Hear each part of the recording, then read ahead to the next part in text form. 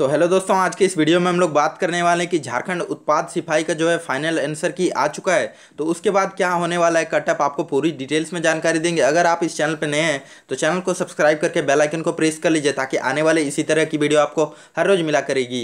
और अगर आप फेसबुक पेज को लाइक नहीं किए हैं तो डिस्क्रिप्शन में लिंक है, वहाँ से जाकर लाइक कर लीजिए, क्योंकि वहाँ पर जो है सबसे पहले आपको जानकारी मिल जाती है। तो चलिए शुरू करते हैं। सीट्स की बात करें तो यहाँ पर जो है पाँच सीटों पर जो है वैकेंसी निकली थी उत्पाद सिपाही की।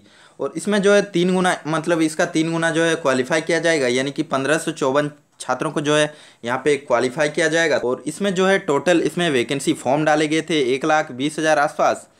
और बात करें इसमें जो है इसका लगभग पचहत्तर परसेंट जो छात्र हैं एग्ज़ाम में प्रजेंट हुए थे, यानी कि अट्ठासी हज़ार पाँच सौ छात्र जो है इसका एग्ज़ाम दिया है। तो पेपर वन की बात करें तो यह सिर्फ़ और सिर्फ़ आपका क्वालिफाइंग मार्क रहेगा, यानी कि आप अगर इसमें थर्टी परसेंट मार्क लाते हैं तो निश्चित तौर पर जो है आपका अगला पेपर चेक होगा, यानी कि पेपर टू और पेपर थ्री जाँच किया जाएगा।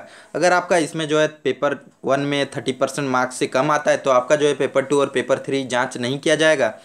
तो आपको कंफर्म कर दें कि इस एग्ज़ाम में जो है नॉर्मलाइज नहीं होगा। तो पेपर जो है मिनिमम क्वालिफाइंग मार्क की सबसे पहले बात कर लेते हैं तो उसके बाद जो है आपको कट ऑफ़ के बारे में डिटेल्स में बताएँगे। अगर आप मिनिमम क्वालिफाइंग मार्क जो है नहीं लाते हैं तो आपका जो है इसमें कट ऑफ़ में नहीं बनेगा आपका तो इसमें पेपर टू और पेपर थ्री की बात करें तो यू आर यानी कि जनरल के लिए चालीस परसेंट मार्क लाना अनिवार्य है। और ओ बी सी वन के लिए जो है thirty four O B C two के लिए जो है थर्टी सिक्स पॉइंट फाइव रहेगा।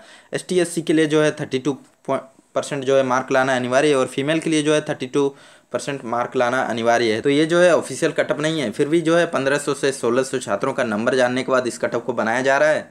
तो मेल के लिए जो है जनरल में 450 से चार सौ पैंसठ और फीमेल के लिए जो है 445 से 455 के बीच जाने की संभावना है। तो और जो है इससे पाँच नंबर इधर उधर हो सकता है, लेकिन इतना के बीच ही होने वाला है। तो बात करें कि इसमें जो है ओबीसी की तो ओबीसी में जो है मेल के लिए 430 से 440 और फीमेल की बात करें तो 415 से 425 और अगर आप इस चैनल पर नए हैं तो चैनल को सब्सक्राइब कर लीजिएगा।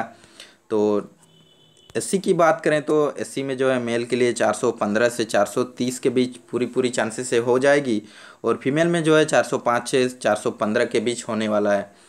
और अंतिम जो है एस टी है एस टी के लिए बात करें तो इसमें जो है मेल के लिए चार सौ, तीन सौ पंचानवे से चार सौ दस और फीमेल के लिए जो है तीन सौ पचासी से तीन सौ नब्बे के बीच होने की पूरी संभावना है दोस्तों। अगर आपका इतना आ रहा है तो आप जो है अपने फ़िज़िकल की तैयारी में लग जाइए, क्योंकि इसमें अगर मेल की बात करें तो दस किलोमीटर आपको रनिंग करना है, ज़्यादा फोकस उस पर दीजिए, क्योंकि दस किलोमीटर बहुत ज़्यादा होता है दोस्तों। लेकिन इसको अगर आप प्रैक्टिस करते हैं रेगुलरली तो हो सकता है आप जो है आसानी से कंप्लीट कर जाएँगे।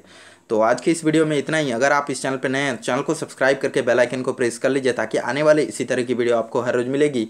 और अगर आप झारखंड के निवासी हैं तो इस चैनल को ज़रूर सब्सक्राइब कर लीजिएगा। तो धन्यवाद दोस्तों। जय हिंद, जय भारत।